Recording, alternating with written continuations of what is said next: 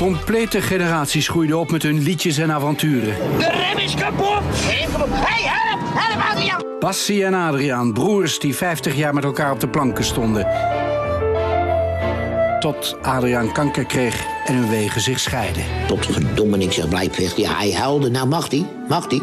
Vanavond in profiel, de herfst van Bassie en Adriaan.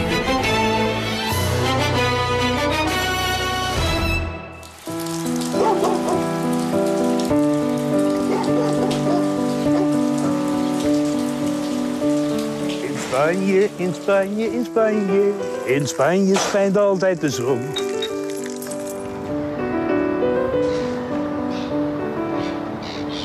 Heb jij alles in de wagen, Eikas? Ja, alles Oké. Na bijna 50 jaar samenwerken liggen hun levens ver van elkaar.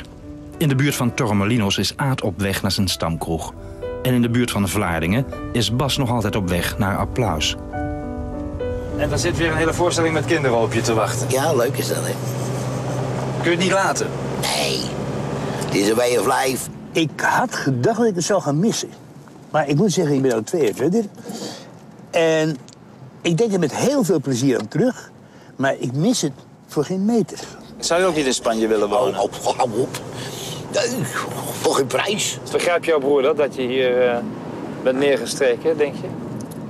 Begrijpt mijn broer dat? Ja? Ja, natuurlijk. Die Nederlanders in Spanje, dat zijn net de Turken in, in, in Nederland. Hoezo? Het klit maar op elkaar. En nu leef ik mijn eigen leven.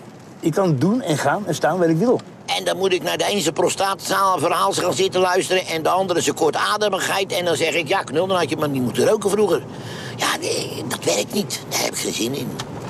En dan zitten ze allemaal... Er zijn er hier wonen er al tien jaar, die spreken nog geen woord Spaans.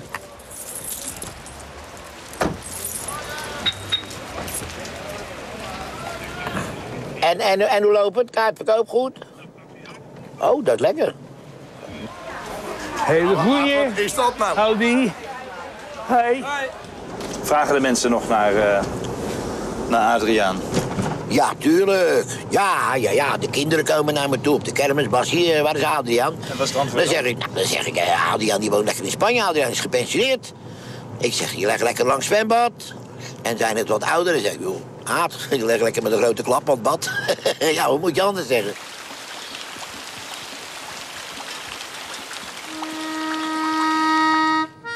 Bas en Aad van Toor, broers die zo lang dag en nacht met elkaar optrokken. Eerst een kwart eeuw als acrobaten.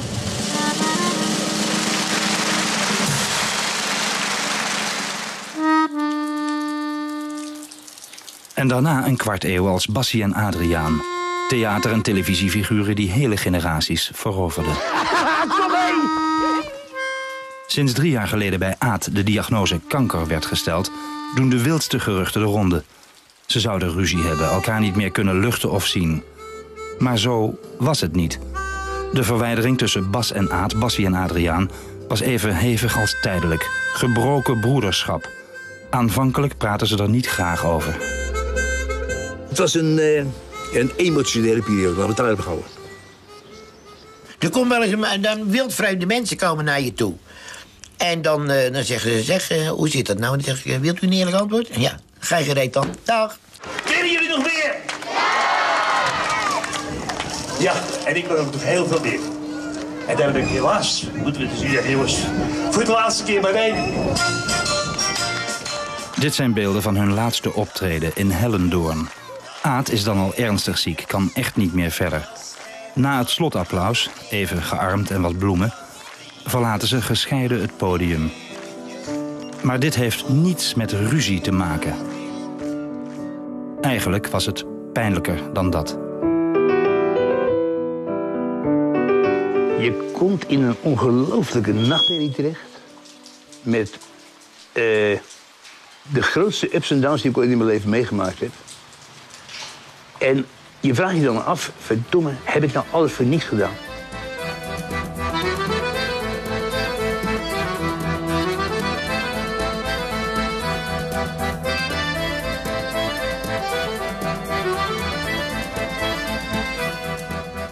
Wie iets van de pijn wil begrijpen, begint hier.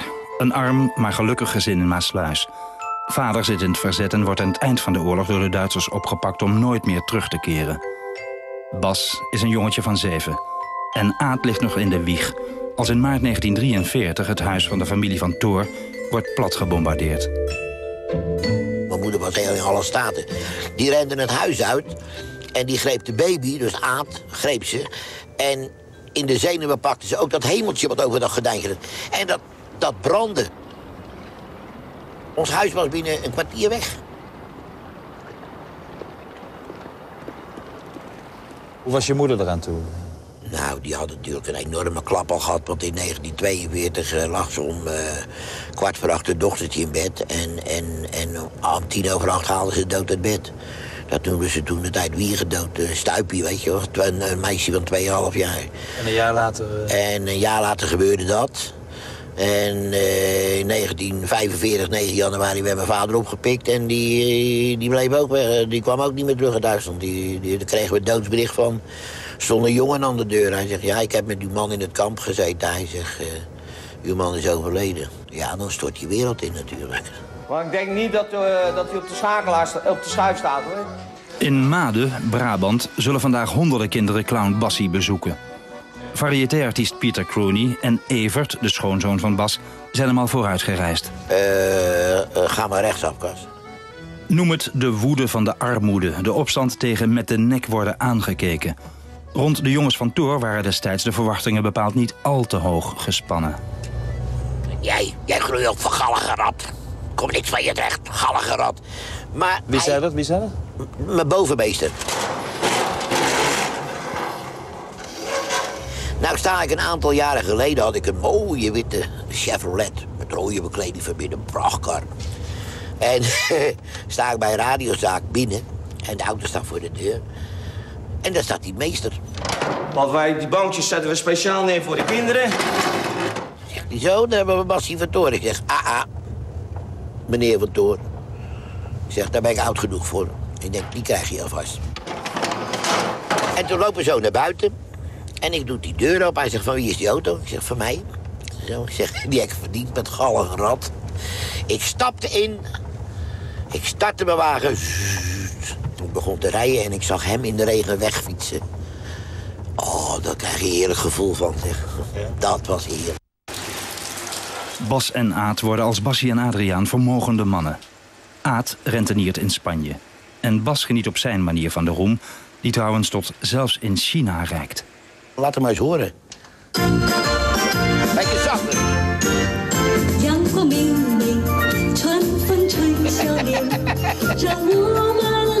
相见。阳光明媚，春风吹笑脸，这是巴西和阿德里亚。 Ja, ik ken er vreselijk om lachen, weet je. Tot. We vangen er geen, geen, geen, geen pepernoot Dat is een voor. enorme markt, China, hoor. Ja, dat, geweldig. Al krijg ik van elk Chinees met een cent. Ja. Kom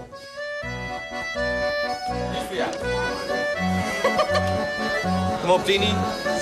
We staan helemaal op jou te wachten. hey, voor jullie hebben we bankjes vooraan gezet. Kan je helemaal vooraan zitten. Hoe vind je dat? Hier niet, daar niet. En hier verschrikkelijk bij.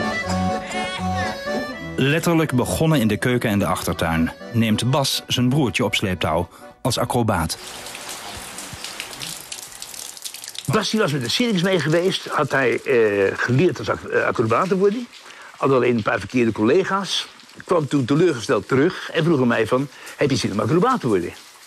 Ik dacht, nou, dat lijkt me wat. Maar wat hij er niet bij vertelde... als acrobaat moet je elke dag trainen. In de variété-wereld worden ze beroemd als de Crocsons. Het nummer met de flessen en de drie stoelen. Langzaam leven. Bij Rudy Karel. Zijn die ergens van over, die flessen? Ja, voor de bruiloft. Ah. Was wel lollig, we hebben ze allemaal leeg gedronken eerst. Wat ga je doen nou? Een stoelendans of zo? Nee, wacht maar af. Druk met het stoeltje. Goed zo, ah, twee. Is dat niet gevaarlijk? Als we niet vallen. Het was levensgevaarlijk. Doen jullie dat zonder net? Nou, er hangen net met paaseieren onder. Zijn jullie verzekerd? Ja, tegen brand. Pas op hoor.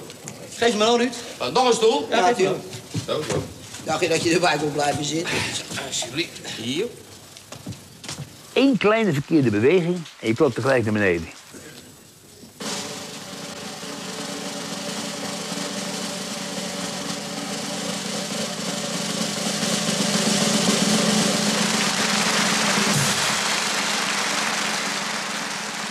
Ik, ik heb nog, ik heb nog eh, dat ik s'nachts wakker word. En, en dat, dat we een snabbel aangenomen hebben met een stoelnummer. En dat Aad zegt... Je bent zo de man, we hebben het al jaren niet meer getraind. te kennen. Ja, en dan zeg ik, ja, als er eenmaal staan gaat, dat vanzelf. Maar dan moet je niet aan denken, nou, dat je er staat. En dat heb ik nog wel eens, ja. Aad herinnert zich de doodsangst bij sommige van die optredens.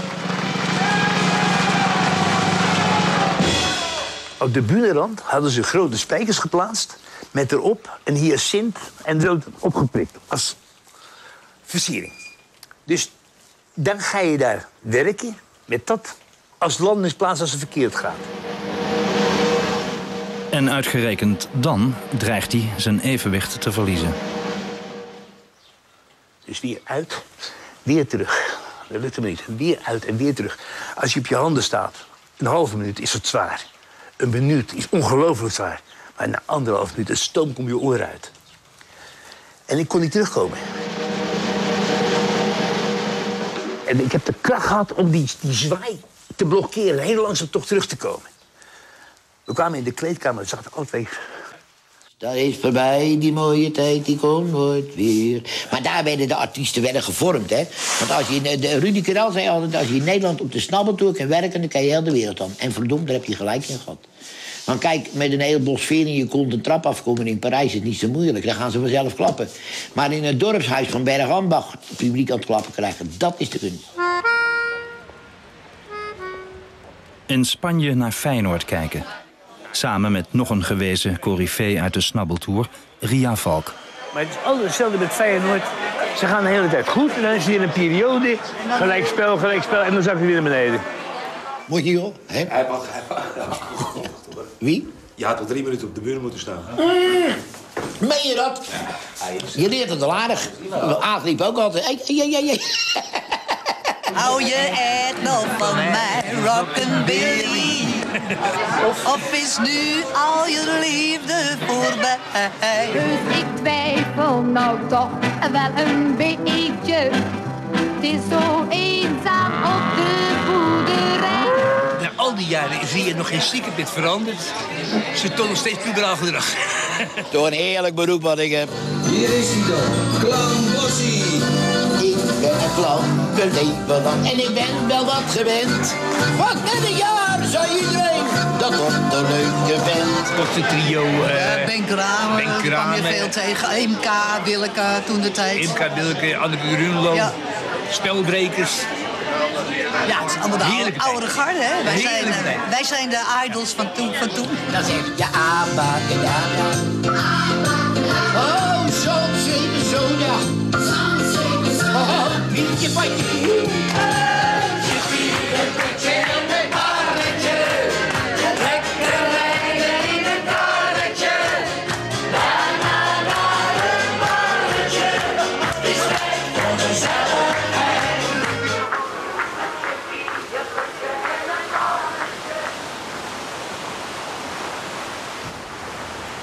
Zit een dinsdag zit ik in eh, Den Helder, een woensdag in Assen, een donderdag in Ridderkerk, dacht ik, en een vrijdag in Enschede. Een zaterdagmiddag in Den Dolder, een zaterdagavond in Zwolle en een zondag in Goor. En dan na Goor rijden we gelijk met z'n vieren door. mijn eh, schoonzoon en eh, mijn dochter en mijn vrouw, want we gaan vijf dagen werkbezoek in Oostenrijk voor eh, de nieuwe tv-serie die ik in juni in Oostenrijk op ga nemen. Mijn hemel. Dat is toch leuk. Hoeveel voorstellingen hebben jullie samen wel niet eh, gegeven? Het is niet meer te tellen. Nou, het- was ergens eh 6000 voorstellingen. Met Bassie en Adriaan? Ja, minstens. In Vlaardingen, hun nieuwe thuishaven, stampen de jongens van Toor een heel familiebedrijf uit de grond. Echtgenotes, aangetrouwden, kinderen, kleinkinderen. Nou, en dit is sinds eh, 17 september mijn manager, dat is mijn schoonzoon. Ja, hij moet het nou wel weten, want hij werkt al 28 jaar bij me. En dit is mijn oudste dochter. Die draai eens om. Kom eens kijken. Goedemiddag. Dit is eigenlijk toch mijn mooiste tijd geweest. Al bij de Crocsons halen Bas en Aad hun echtgenotes op het podium. En Aad, de Welke- eerste welke vrouw... is dan- nou jouw vrouw? Ja, eh, Ko, dat is mijn coachje, die staat Rechts? Ja, rechts. Kobi en Bas, al 46 jaar samen. Zou dat nou nog lukken? Nee. Nee, nee. Een jaar of vijf geleden. Wat in de badkamer, ik in de slaapkamer. En toen kwam ze binnen, ik zei, cola, nog één keer proberen. Gaat op mijn handen zitten. Nee, dat gaat niet meer. Nee, toen was je, toen was je 60 kilo. 58 kilo. 58. Jullie zijn dol op elkaar, hè? Ja, je bent gek op dat wijf. Ja. Aad is hertrouwd met Ina en die was weer regieassistente bij het indrukwekkende aantal tv-series dat de Van Tours in eigen beheer produceerde. Alles is. Kijk, ik ga achteruit de trap af, want als je altijd stunt bent geweest... dan krijg je een beetje rare knie op de duur. Acrobaten die als het blijven minder wil besluiten om kinderhelden te worden. En er is goed, heel goed verdiend. Alle tv-rechten in eigendom. 1, 2, 3, 4, 5, 6. Dan hebben we hier de bassiepoppen. 8, 9, 10, 11, beton van bassie. 12, 13, 14. En dan de bekers hebben we. 14, 15, 16, 17. heb je dan de bassie Nadia, een auto met caravan. 18, 19, 20. Placemates. 21, 22, 23. Lotion. 24. 25. Hondengoed, ja. 26, 27, 28, 29. Kijk, hier heb Beatrix 25 jaar voor moeten regeren. Maar ik in de kind kan zo de kroon op zo zetten. 32 dvd's hebben we. En voor een zeevarend volk. Hoeveel banden zijn er verkocht van en Adriaan? Je? Ja, ik schat ongeveer een 5 miljoen. 5 miljoen. Ja.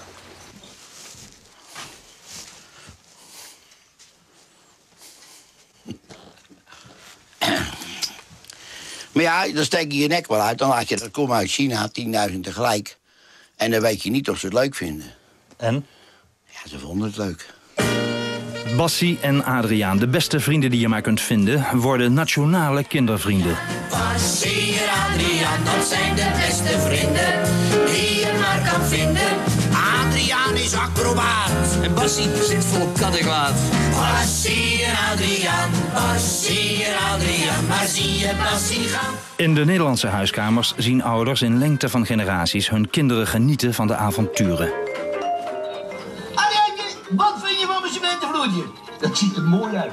Levende stripfiguren waarin het gaat om achterna zitten of achterna worden gezeten. Zenuwachtig. En zo zenuwachtig word ik altijd als die clown en die acrobaat in de buurt zijn. Die zijn hier niet. Ik zie alleen een lege tunnel.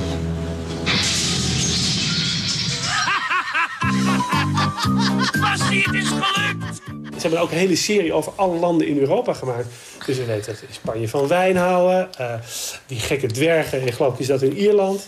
Eh, eh, het is gewoon heel educatief, heel eenvoudig, maar veel doeltreffender dan veel zwaar gesubsidieerde kindertelevisie die in Nederland de afgelopen jaren is uitgezonden.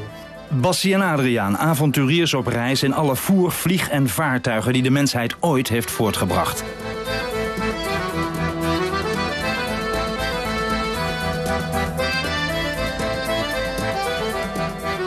De verbeelding aan de macht. Ook Hans Kazan, die aan de Spaanse kust een theater van de illusies bouwt, begrijpt de magie van Bassie en Adriaan. Ik vind het eigenlijk best wel jammer dat het afgelopen is. Ik heb ook heel veel eh, mensen gezien, jongere artiesten... die hebben geprobeerd om het na te doen op een, een of andere Is manier. dat zo, ja? Ja, dat zie je gewoon gebeuren. In kleine dingetjes. Ze proberen het na te doen. Maar het wordt nooit Bassie en Adriaan. Want die intensiteit en die, die erin zi- in zit, kun je nooit meer nadoen. De waanzinnige, en dat mag ook wel eens gezegd worden... de onwaarschijnlijke werklust van die twee... Altijd werken, werken, werken, werken. Dat, dat zie je terug aan alles. Bassie, de rem is kapot. Oh, je rem kapot. Nou ja, wat er ook gebeurt, altijd blijven lachen. De rem is kapot. Rem kapot. Hé, hey, help! Help, Adriaan! Wat zit er Kom nou, kom nou! Wat zit er? Blijf met je handen van het stuur! Ik heb nooit een educatief programma willen maken. Maar wel een programma waar de kinderen toch wat van meenemen. En eh, zonder dwang. Eh, Spelen de wijze de kinderen wat leren. Ik had bijvoorbeeld een liedje gemaakt van Kijk links, kijk rechts. En nog een keer als je oversteken moet. Kijk links, kijk rechts. En nog een keer, want dan doe je het pas goed. Dus het was uitgezonden. En twee dagen later komt een jongen in me toe. Die zegt, Adrian, als je de straat oversteekt, eerst goed links kijken. Dan rechts, dan nog een keer links. Als er geen verkeer komt, dan pas oversteken. Nee, daar. Het is toch blijven hangen. Good morning is goedemorgen. Nou, dat hebben ze ook goedemorgen is goedemorgen. Bonjour is goedemorgen. Bon nuit is goeienacht. Ja, je hoort, mijn zoon weet wel wat, wat good morning is. En eh, nou ja, het, het succes fascineert me ook wel. Het, blij- het blijft ook. Het gaat over alle leeftijden heen, over alle generaties heen. En ik weet zeker dat, dat mijn kleinkinderen straks nog steeds daarvan zullen genieten. De Golden Gate is een van de grootste hangbruggen van de wereld. Hangbrug? Wat is dat nou weer? Nee, verschillende bruggen. Zonder pretenties de wereld in huis. Als ik bijvoorbeeld een mail krijg of een, of een brief van een bijstandmoeder... dan schrijven ze er dan... Ja, die mensen stigmatiseren dus eigen. Maar dan, eh, beste Bas, eh eh, Basie, eh, ik moet je bedanken voor de, de, de leuke dingen... die jullie mij hebben laten zien in de wereld... waar ik als bijstandmoeder met mijn kinderen nooit naartoe kan gaan. En dat ze via jullie dat toch hebben gezien. Ik wil naar het land van mijn vader. Navajo, Navajo, Navajo. Navajo, Navajo, Navajo. En Jimmy, Jimmy, hij deed op school nooit zijn best. Jimmy, Jimmy, hij weet geen verschil tussen oost en west. Patrick O'Brien was een grote ier van bijna twee meter lang. Hij kocht een stuk grond op een heuveltop en zei toen weet je wat.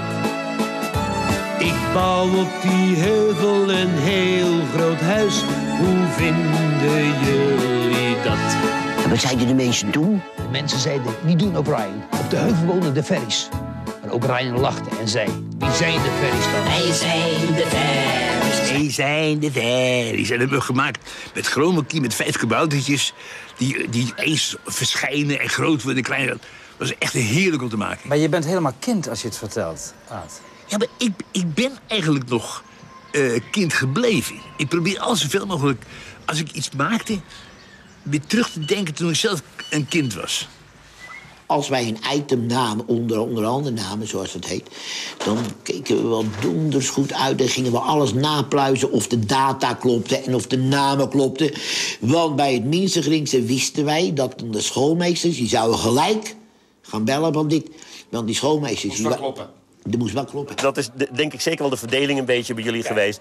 Aad was altijd degene die de, de verhalen bedacht, de lijnen... die altijd met het artistieke gedeelte bezig was. En Bas ken ik niet zo goed als Aad... maar lijkt mij meer de iets commerciëlere kant van het verhaal eh, vertegenwoordigen. Dat vind ik wel leuk om te zeggen. Ik heb alleen jaar Basje de reis van Zwarte Piet gemaakt. Er werden in twee maanden tijd 77.000 dvd's verkocht. En dat was met twee maanden, omdat Zwarte Piet is een tijdsgebonden artikel. Hij ligt nu, nu in de winkel. Alleen, hij gaat volgend jaar, dit jaar gaat hij er weer in. Dat is toch wel leuk, weet je. Als nou een popgroep 25.000 platen koopt... man, dan staat de telegraaf vol. En wij doen, en die kloon doet dat zomaar even. En daar kan ik toch wel om lachen, weet je wel.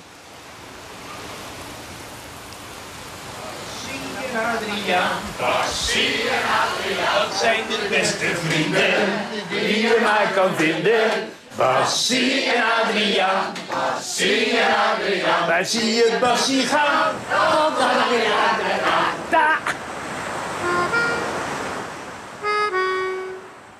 Het gaat weer heel wat beter met Aad van Toor. De kanker lijkt onder controle.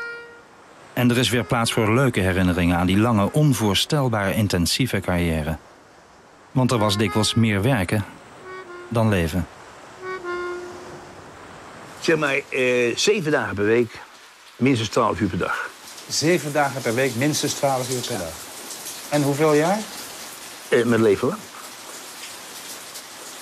Hoeveel vrije dagen heeft u gehad? Hoeveel, hoe, hoe vaak bent u ziek geweest? In dat werkzame nou, dat was altijd zo dat ziek ben ik nog nooit geweest. Tenminste, bij elkaar, als acrobaat, heb ik drie dagen gehad dat ik niet heb kunnen werken. Ja. We hebben altijd gewerkt.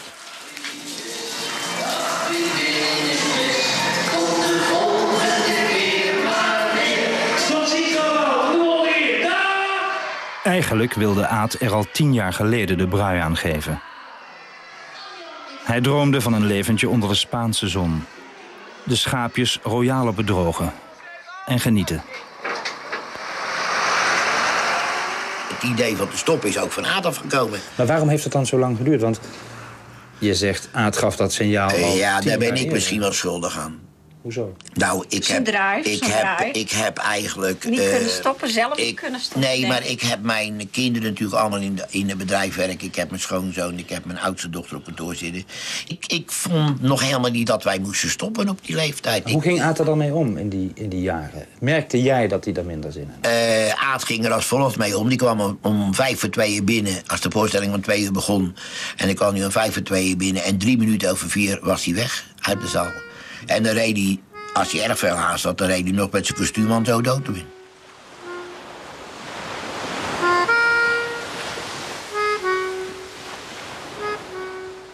Toen eh, belt hij eh, maandagmorgen om tien voor tien belt hij op eh, met, ah, met mij.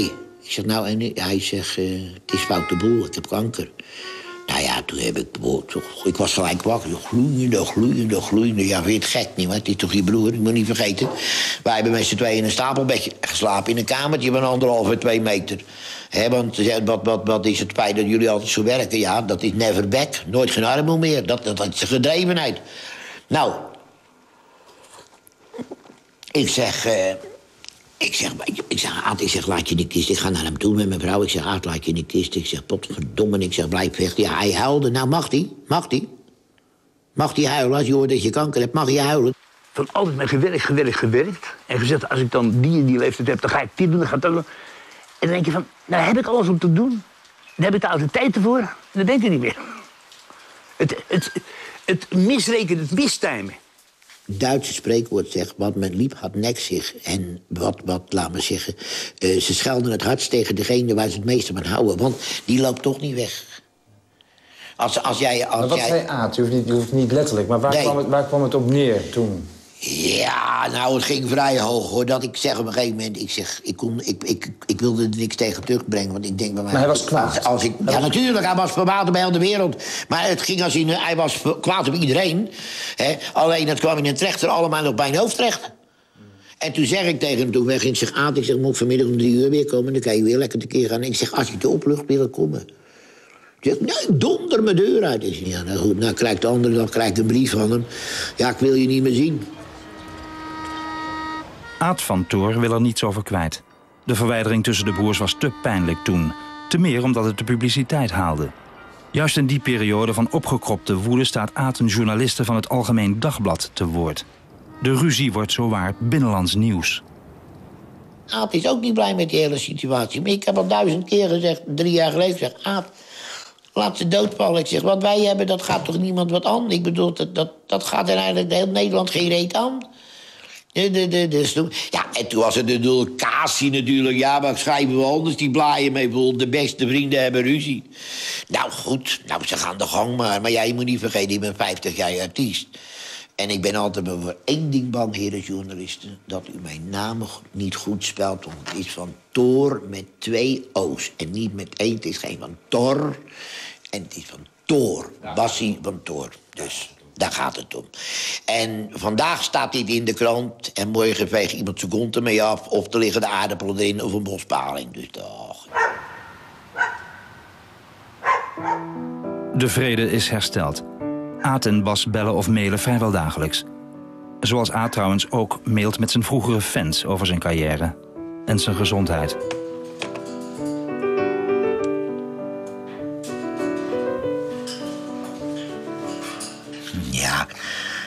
Nou gelukkig zijn we weer. eh, kijk, Aad, heb er nou ook weer lol in. Gisteren eh, we waren van de week ergens en toen zeg ik tegen Aad... zie jou vechten. Ja, dat is toch logisch. Je moet het niet vergeten, het is niet alleen je partner, maar het is... Kijk, je bent als acrobaat, hebben we een wereldnummer gehad. Heb je dat beeld, jongens? Waar is het beeld van de Kroks, onze stoelnummer? Nou, nee. Ja. Ja, pak het, nou, pak het eens beter. Nou, dan sta je elke avond sta je hier zo, sta je te balanceren. Op, op 12 champagneflessen, hier zit niks tussen. Dit is geen klikklak. Dit, dit zit geen pennetje, niks. Dat zijn gewoon drie stoelen. En dan sta je hier. Nou, dit is Aad en dit ben ik. Dan houdt dit in dat als ik ook maar het minste geringste fout doe... of Aad donderen we allebei naar beneden, dan hebben we de hoofdprijs. Leggen we in de glasscherven en dan breek je je nek. En dan werk je 25 jaar met zoveel vertrouwen op elkaar... dat je elkaar zoveel eh, kracht en vertrouwen geeft. Denk hem, dat is een band die hier staat, hoor. De band tussen de broers, hier begonnen. Beroofd van vader, huis en veiligheid...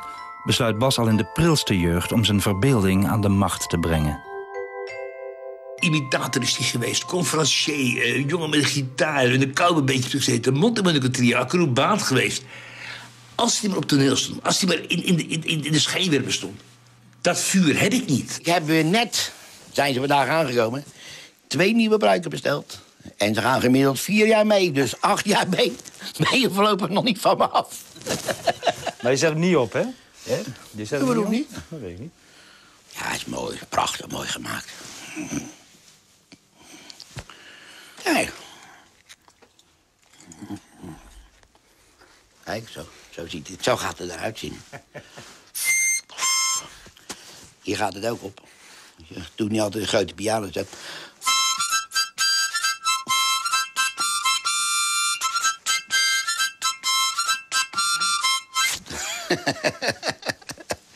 ah, dat is leuk.